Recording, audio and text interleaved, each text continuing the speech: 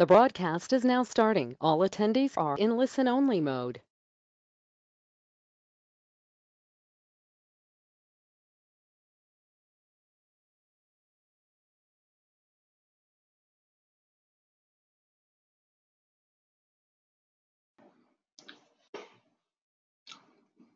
Bună dimineața și bine v-am găsit la un nou webinar. Uh, numele meu este Liviu Băjenaru și sunt uh, BIM Application Engineer în cadrul companiei Man Machine România, uh, partener Autodesk, partener Platinum, Platinum Autodesk. Subiectul webinarului de astăzi va fi fluxul de lucru Revit Robot. Și anume, cum putem trece de la un model fizic, un model de cofraj, la un model matematic din Revit în robot și uh, înapoi uh, pentru a putea calcula uh, structura. Pentru a face acest lucru, în momentul de față, utilizatorii trebuie să achiziționeze sau să dețină o colecție AEC. De ce spun acest lucru? Pentru că avem nevoie odată de Revit, avem nevoie de Robot Structural Analysis Professional. Revitul poate fi achiziționat, uh, poate fi închiriat mai nou uh, independent, însă robotul nu se găsește decât în această colecție. Există avantaje și uh, multiple pentru a achiziționa această colecție, în afară de cele două softuri pe care, despre care vom discuta astăzi, vedeți o listă întreagă de alte aplicații care fac parte din colecția AEC. Acea aplicație pe care o vedeți tăiată este de fapt un serviciu Uh, în cloud de calcul structural peste Revit, uh, în care nu mai aveați nevoie practic de robot. Însă uh, acest serviciu a fost um, anulat de către Autodesk, nu, va, nu mai comercializează la versiunea 2019.2 ultimele update-uri încoace, deoarece într-adevăr face un calcul, dar este un calcul limitat, un calcul static. Partea de calcul dinamic, calcul seismic nu era acoperită de, de această, um, acest serviciu și atunci uh, îndreaptă utilizatorii către acest flux de pe, despre care vom vorbi și anume realizarea calculului, calculului în uh, robot. Așa o prezentare grafică uh, a acestui flux. Uh, cum văd eu și cum utilizez eu uh, aceste softuri pentru proiectare. În primul și în primul rând, uh, discutăm despre o uh, modelare preliminară, o propunere de structură. Ca structuriști primim o temă de arhitectură. Uh, aceasta poate fi fie un model de Revit, de arhitectură, sau putem primi chiar planșe de VG, pe baza cărora noi putem modela în Revit o structură preliminară. Da? Putem face o dimensionare foarte rapidă din experiență, iar acel model îl putem transfera foarte simplu, și o să vedem astăzi cum, în robot, fără mai fi necesar ca să reluăm în robot de la zero modelarea uh, structurii, modelul matematic, deci uh, câștigăm o grămadă de timp. Uh, vom discuta astăzi despre primele două etape de aici. Mai departe, după ce definitivăm structura, ne hotărâm cum o să arate, se face calculul armăturilor în robot și se trece la partea de detaliere în uh, Revit. Bun, și o să trecem foarte rapid la uh, partea practică a acestui uh, webinar și vom, uh, vom face uh, vom exemplifica acest uh, flux de lucru pe această structură da? Am uh, modelat-o eu deja. Este o structură nici foarte complicată, dar nici uh, extrem de simplă și să vedeți ce uh, probleme întâlnim uzual, în mod uzual, atunci când facem trecerea de la modelul fizic, cofrajul mai bine zis, la un model matematic pe care să-l folosim în programul de calcul. Vreau să fac aici o mică paranteză. Eu sunt un uh, fan al uh, robotului, îl folosesc de foarte multă vreme. Este cel mai bun program de pe piață, nu există altul mai bun. Glumesc. Uh, puteți, fluxul acesta de care vă, vă spun, da? funcționează foarte bine cu robot, însă există și alte softuri de calcul structural care știu să citească modelul matematic pe care îl pregătim în Revit. Așa că nu sunteți blocați în, în partea asta de utilizare numai robot Revit. Da? Este într-adevăr optimă pentru că avem același producător de soft și fluxul este optim față de alte, alte programe de calcul. Dar până la un punct puteți utiliza acest flux de lucru și Revit plus alte softuri care știu să citească modelul matematic din, din Revit. Ok, bun. În Revit avem această structură care este cofrajul, elementele uh, structurale uh, de tip stâlpi, grinzi, planșee, pereți structurali, da? Iar dacă mergem pe vederea 3D, uh, numită Analytical Model, vedem modelul matematic. Acest model matematic pe care îl vedeți este obținut fără a umbla pe el. Așa l-a generat uh, Revit-ul, așa a înțeles el să-l facă, însă veți vedea că avem mici probleme la el, da? Uh, nu prea ne place cum sunt uh, conectate elementele, da? Ok, haideți să luăm, spre exemplu, aici la etaj. De ce apar aceste probleme? Păi iată, acest stâlp, centrul lui, axul stâlpului nu este în intersecția de axe, da? Uh, la fel și aici.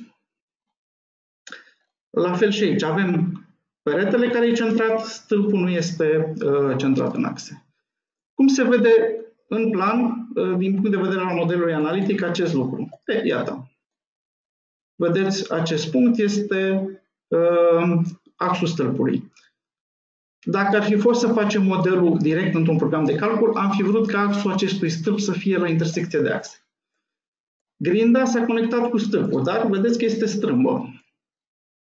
La fel și aici, da? Stâlpul ăsta este la poziție corectă, cel din centru are un mic uh, decalaj, iar grinzile se conectează în stâlpul respectiv, rezultând aceste mici probleme. Bun, cum ajustăm modelul matematic ca să-l pregătim uh, bun de calcul direct în robot, fără a fi nevoie să-l, să modificăm acolo?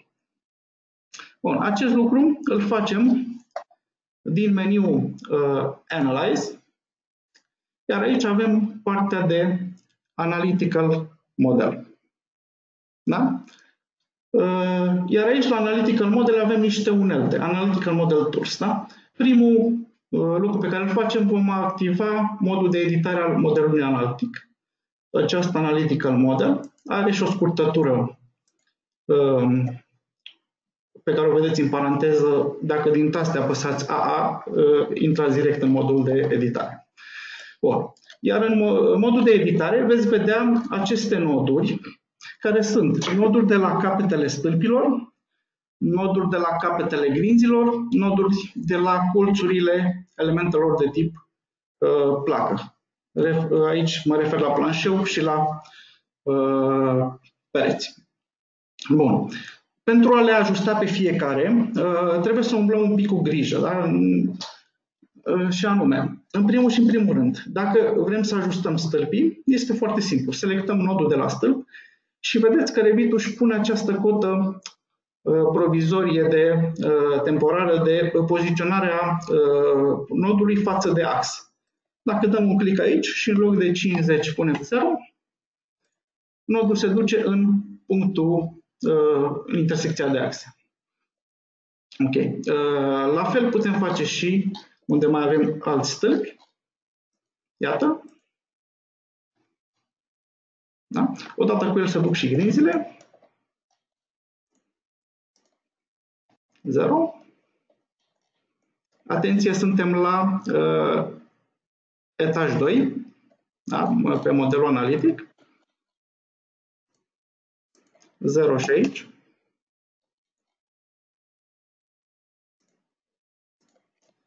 0 și aici.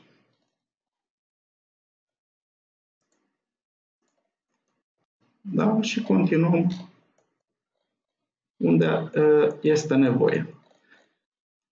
Ok? Asta, acesta este tot un stăp. Ok. Să mutăm pe acesta. Am ieșit din modul de editare. Mai intrăm o dată. 0. Așa.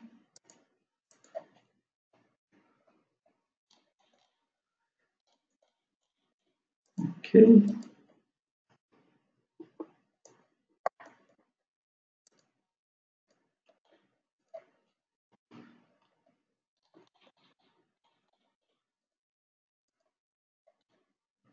Aici.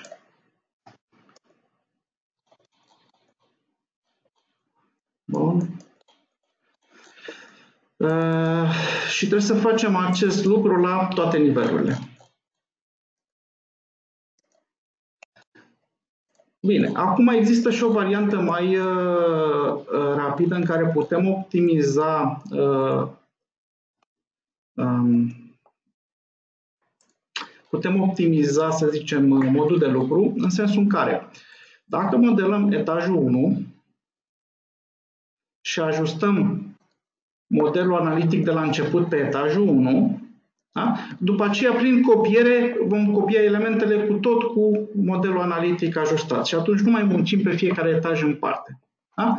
Deci, în primul și în primul rând, stâlpii, ați văzut, cu modelul analitic se, uh, se ajustează trăgând de aceste noduri cu ajutorul acelor cote parțiale. Este cel mai uh, exact. Altfel putem trage de aceste noduri și apucând de ele, pur și simplu. Da?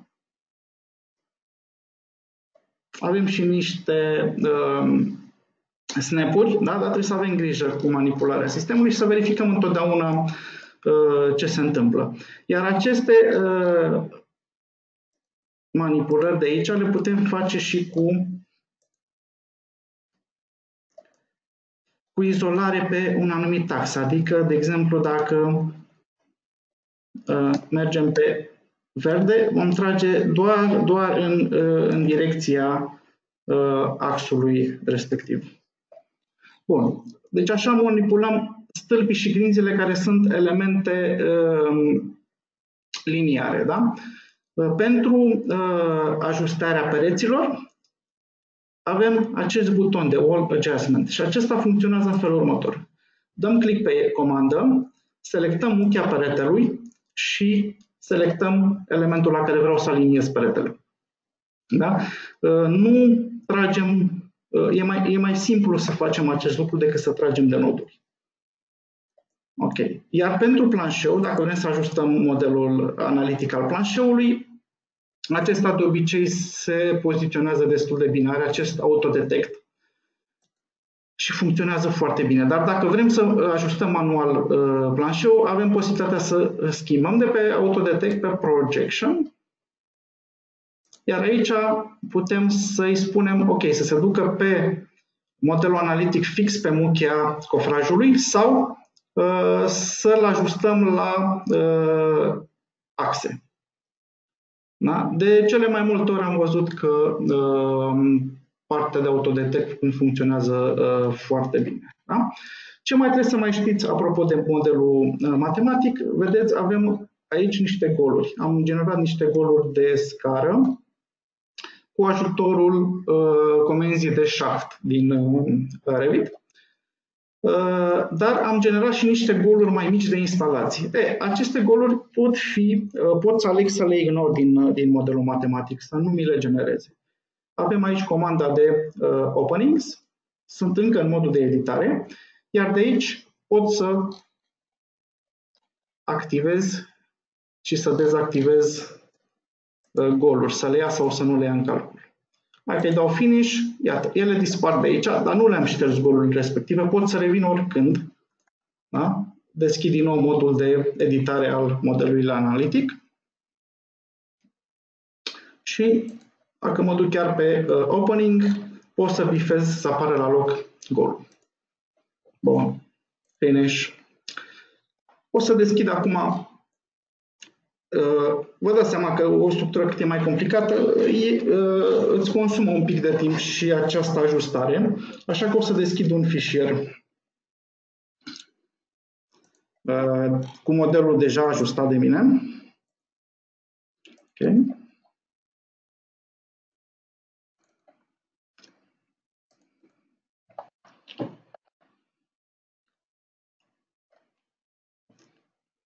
Și exact cu instrumentele pe care vi le-am arătat, acum modelul analitic arată, da? sunt toate elementele saliniate, putem să ne uităm și la axe, stâlpii sunt centrați, da? grinzile sunt toate pe ax, golurile acelea mici uh, i-am spus să le ignore, da? Și mai departe uh, putem trece la uh, transferul. Este aceeași structură, da? după cum vedeți. Elementele sunt în continuare cu acest offset. Uh, da, trebuie să vă mai precizez și acest lucru. Mutând acel model matematic, axul stâlpului, nu mișcăm elementul fizic de la locul. Da? Cofrajul rămâne pe poziție, da? se mișcă doar poziția uh, axului uh, matematic al elementului în, uh, în structură, nu se mișcă și elementul. Teoretic aș putea să scot axul matematic și undeva în afara um, stâlpului, dar deja este un offset prea mare și acolo nu, nu este o soluție, dar teoretic pot să fac chestia asta. Bun, mai departe, pentru a transfera modelul în robot, mai putem face niște chestii pe aici. De exemplu, avem posibilitatea ca în Revit să, să amplasăm și încărcările pe elemente. Da? Putem pune odată reazemele direct de aici, da? reazeme pe care Așa, avem predefinite încastrări, articulații sau reazeme mobile da? reazime care pot fi de tip uh, nodal, liniar sau pe suprafață. Ok. Uh, putem uh, defini cazuri de încărcări. Da? Eu prefer să nu fac acest lucru pentru că, pentru că mm, este mai, mai util și mai eficient să fac definirea încărcărilor și a combinațiilor în Uh, robot. Pe de altă parte, dacă le definesc în robot, când uh, actualizez modelul din robot, se va actualiza și acest tabel cu încărcări. Deci le voi vedea și în uh, Revit și o să vedeți chestia asta. Dar teoretic de aici pot crea cazuri de încărcări. Procedura este similară cu ce facem în, în robot, în sensul că definim mai întâi cazurile de aici, Uh, combinații. Îmi spune acum că nu are cazul definite ca să creeze combinații, dar într-adevăr pot să creez aici combinații. După care pot aplica încărcări, la fel ca și în uh, programele de calcul, încărcări de tip uh, nodal sau un punct, liniar sau de suprafață. Ok. Modalitatea de definire a încărcărilor în Revit este relativ simplă, însă de ce nu fac eu chestia asta? Am avantajele următoare în robot. Ehm, pot face combinații automate acolo după normativul pe care, după care doresc, pe când aici trebuie să le fac manual pe toate. Iar uh, al doilea avantaj uriaș este că în uh, robot pot defini seismul uh, în mod automat sau pot să definesc un spectru, pe când aici ar trebui să calculez o fiecare forță orizontală în fiecare nod pe care trebuie să o introduc, ceea ce nu se mai face astăzi, consumă foarte mult timp și risc să mai și greșesc în, în calculul acestor încărcări. Bun. Ok, atunci o să trecem peste această parte de definire încărcărilor aici, o să o facem direct în robot, iar transferul modelului în robot se face foarte simplu, tot de la meniul Analyze, avem aici Robot Structural Analysis și avem Robot Structural Analysis Link. Bun. Cum facem uh, transferul? Send model to uh, uh, robot. Iar tipul de integrare avem uh, opțiunea să alegem două tipuri. Uh, integrare directă, asta înseamnă că va deschide uh, automat robotul și va uh, genera acolo structura sau send to intermediate file, uh, mai întâi salvez această structură într-un fișier cu extensia SMXX iar din robot trebuie să deschid acest fișier. E o chestie mai uh, indirectă. Prefer să o folosesc pe acesta cu Direct Integration, iar la opțiunile de uh, trimitere, în cazul în care am definit niște încărcări în, uh, în Revit, va trebui să aleg aici care dintre cazurile pe care le-am definit eu în Revit va fi asociat cu cazul de greutate proprie din uh, robot. În cazul nostru nu, nu avem uh, nevoie de așa ceva.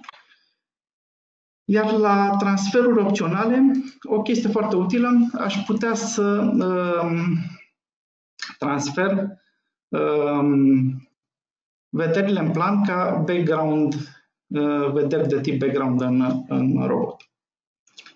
Ok? Bun. Și acum, pur și simplu, apăsăm pe butonul OK, am exportat structura.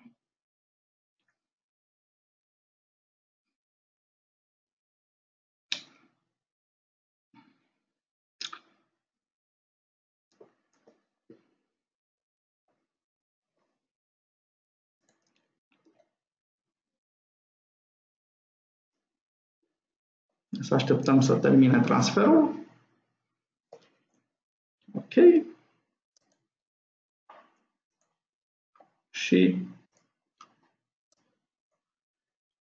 iată structura uh, în uh, robot, deja modelată, deci nu mai trebuie să muncesc încă o dată.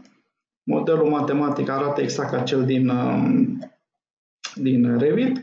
Elementele sunt elemente din beton armat, avem secțiunile generate uh, după cele din uh, Revit. Ce trebuie să știți este că materialul de pe secțiune va fi materialul definit în Revit. Da?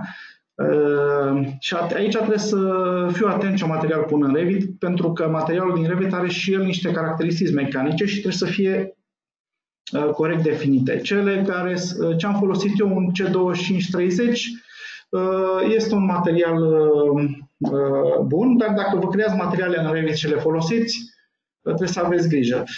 E, adevărat că puteți schimba oricând materialul de pe uh, element cu un material uh, tipic pentru uh, robot, dar în momentul în care facem actualizarea de uh, model către Revit înapoi, uh, vom avea și uh, o schimbare de material acolo și se va schimba și textura și hașurile de pe, practic generează un nou material pe baza celui din uh, robot.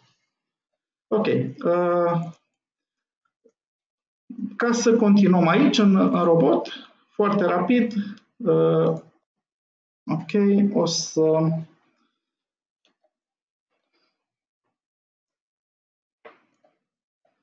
Așa, uh, o să punem niște reazeme încastrări. Punem rezeme și sub uh, pereți. Da? O să creăm cazuri.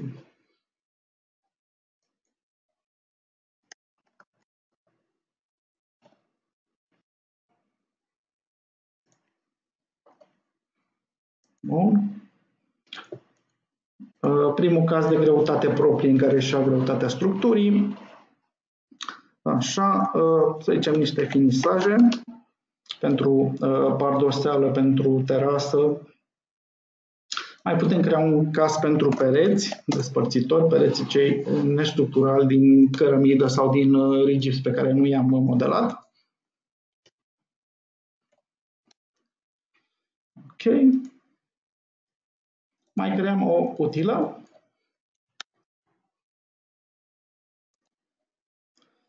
Și mai creăm o zăpadă. Bun. Pentru partea de seism trebuie să mergem la uh, analiză, tip analiză. Creăm mai întâi o analiză de tip uh, modal. Da? Uh, unde calculăm 20 de moduri de vibrații. Așa, și generăm seismul după pe 100 din uh, 2006. E adevărat că s-a schimbat între timp, însă principiul de calcul uh, de generare a spectrului e același. doar că uh, introducem alți coeficienți față de ce aveam în pe 100 din 2006.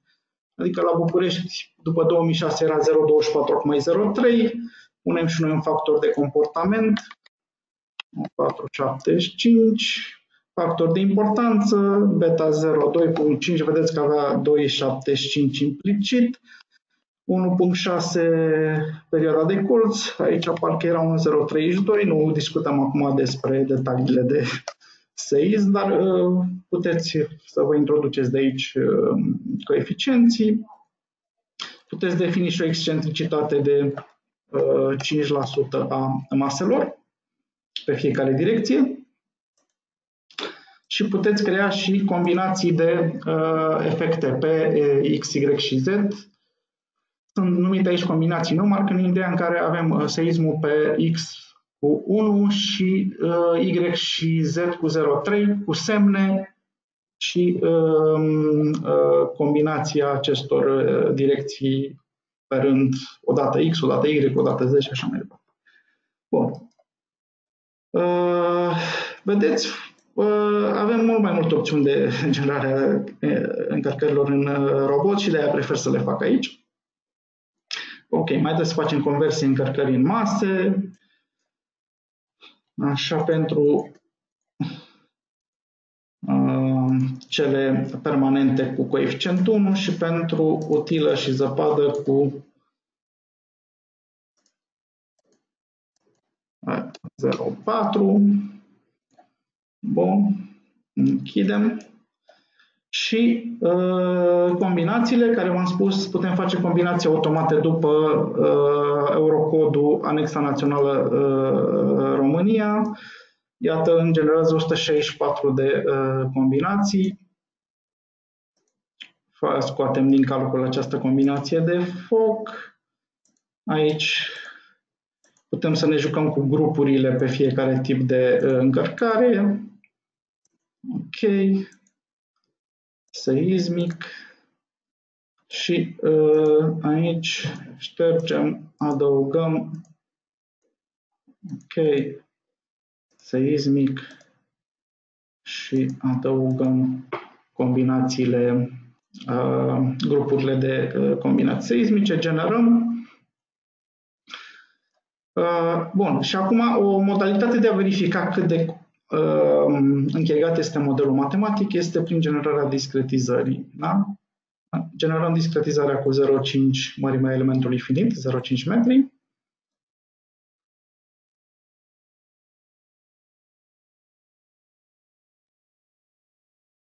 Da, atâta timp cât nu am avut erori la discretizare și avem o discretizare care arată destul de bine, elementele noastre sunt conectate, Uh, modelul matematic este uh, corect. Putem realiza un calcul. Ok.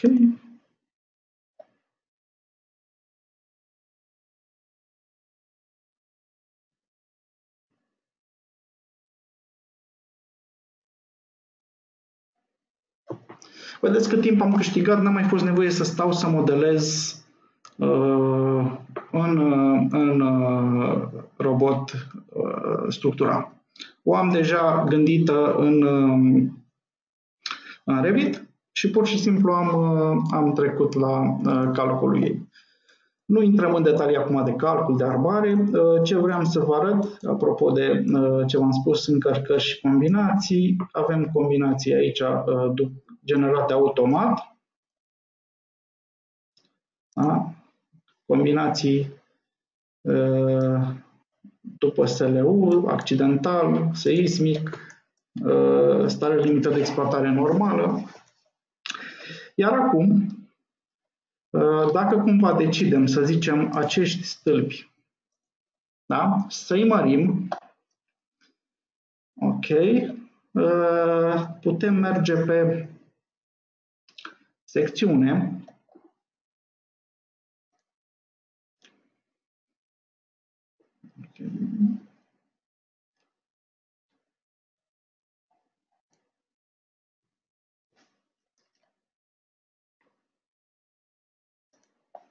Așa. Și avem acest um, tip de stâlp pe care l-am din uh, Revit adus. Mergem pe o secțiune nouă. Așa, și o să zicem aici că este 400 cu 500.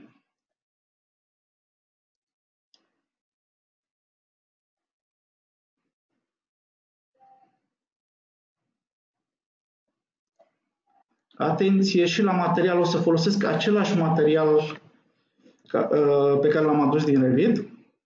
Adăugare, aplicare. Normal că îmi spune că vor expira rezultatele. Ok. Bun. Avem materialul, avem stâlpul. Și acum, dacă mergem în uh, Revit, o să mă întorc un pic pe uh, 3D. Așa. Mai verific o dată dacă aici sunt, da, corect. Aceștia sunt stâlpii uh, de 300 cu 450. Unde mai eram? Așa. Bun. Uh, și uh, acum o să mergem din nou la uh, Robot Structural Analysis și să-i dăm uh, link. De data asta o să-i spunem Update Model în loc de um, Send Model. Ok, avem și aici um, Bun, dacă avem niște binări sau armătură dimensionată prin robot, am putea să aducem și uh, acele uh, informații înapoi sau așa, dar uh, armătura din robot Mm, pe care o pot obține mă ajută foarte mult din punct de vedere al informației, al ei de armătură. Armarea efectivă a elementului o fac în Revit fără a o duce din, din robot. De acolo mi-au doar informația de cât armătură am nevoie. Ok, i-am dat uh, update from uh, robot.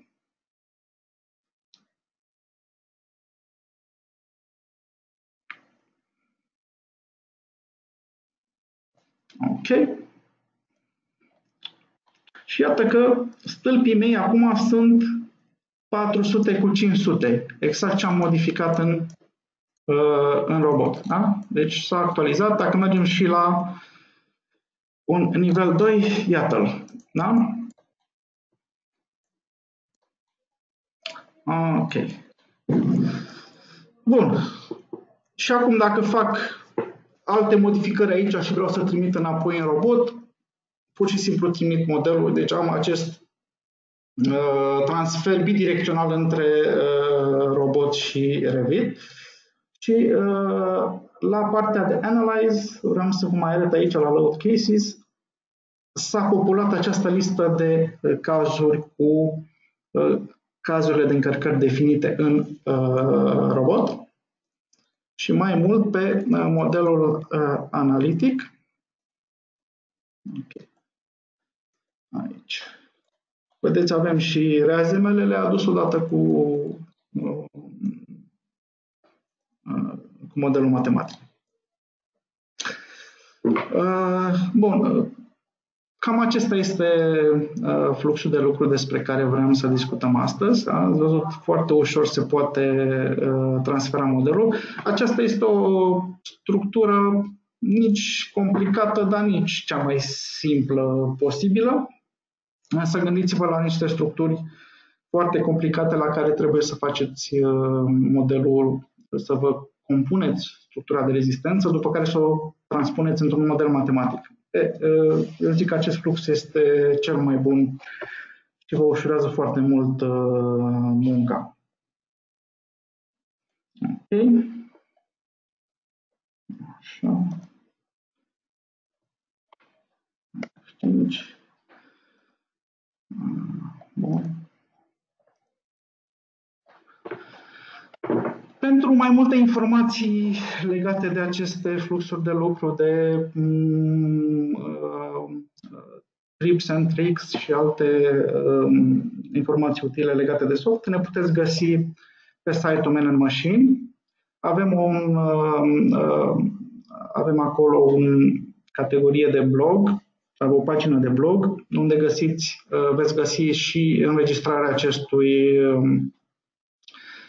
acestui webinar, dar găsiți de asemenea și articole foarte utile în care veți mai descoperi diverse sfaturi și trucuri pe care să le utilizați în, în softurile Autodesk. Suntem prezenți și pe LinkedIn și pe Facebook. Și dacă aveți întrebări, vă stăm la dispoziție.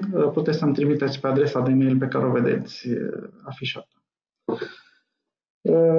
Vă mulțumesc foarte mult pentru prezență și pentru atenție și sper să vă fie utile aceste informații și să încercați să utilizați acest flux de lucru pe care o găsesc foarte, foarte, foarte bun în, în a-mi optimiza timpul în proiectare. O zi bună în continuare și vă aștept la următoarele webinarii.